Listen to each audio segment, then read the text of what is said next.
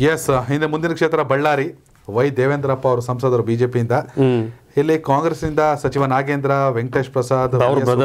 V. S. Ugrappa ಹಾಗೇನೆ ಗುಜ್ಜಲ್ ನಾಗರಾಜ್ ಗುಜ್ಜಲ್ ರಘು ಅವರ ಹೆಸರು ಕೂಡ ಯಾರು ಆಗ್ಬೋದು? ನಾಗೇಂದ್ರ ನಿಲ್ಲೋ ಅವಶ್ಯಕತೆ ಇದೆಯಾ? ರಾಮುಲ್ ನಿಂತ್ರೆ ನಾಗೇಂದ್ರ. ಹೌದು. ಇಲ್ಲ ರಾಮುಲು ನಿಂಪು ವಿರುದ್ಧ ಯಾರು ಬೇಕಾದ್ರೆ ಗೆಲ್ಸ್ಕೊ ಬರ್ತೀನಿ ಅಂದ್ರೆ ಯಾರನ್ನ ನಿಲ್ಸ್ಕೊಂಡು ಗೆಲ್ಸ್ಕೊ ಬರ್ಬೋದು ಕೇಳಿಸ್ಕೋಬಹುದು ಸೊ ಯಾಕಂದ್ರೆ ಗೆದ್ದರೆ ನಾಗೇಂದ್ರ ಗೆಲುವು. ಸೋತ್ರೆ ನಾಗೇಂದ್ರ ಸೋಲು.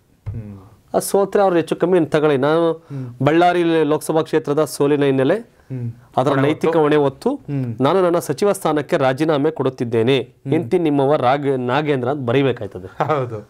ಅದೇ ಇರೋದು. ಅಧಿಕಾರ ಅನುಭವಿಸೋದಲ್ಲ. ಶಾಸಕರ ಯಾಕೆ ದುಡ್ಡು ಹಾಕ್ತಾರೆ ಚುನಾವಣೆಗೆ ಈಗ? ಹೌದು. ಶಾಸಕರಿಗೆ ಅನುದಾನ ಬರ್ತಾ ಇಲ್ಲ ಕಮಿಷನ್ ಇಲ್ಲ ಕಾಸಿಲ್ಲ ಹೆಂಗಾದದು? ಹೌದು.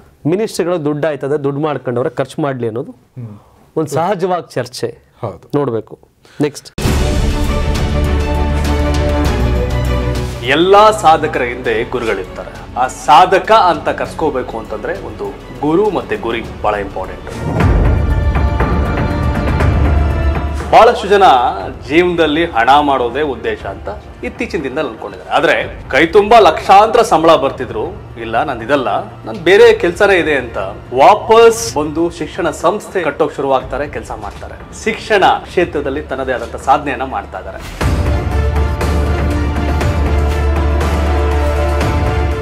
ಬೆಂಗಳೂರಿನ ಈ ಸಾಧಕನ ಬಗ್ಗೆ ನಾನು ನಿಮ್ಮ ಮುಂದೆ ಹೇಳಬೇಕು ಅಂತ ಅನಿಸ್ತು. ಯಾಕಂದ್ರೆ ಬಹಳಷ್ಟು ಜನಕ್ಕೆ ದಾರಿ ದೀಪ ಆಗಿದ್ದಾರೆ.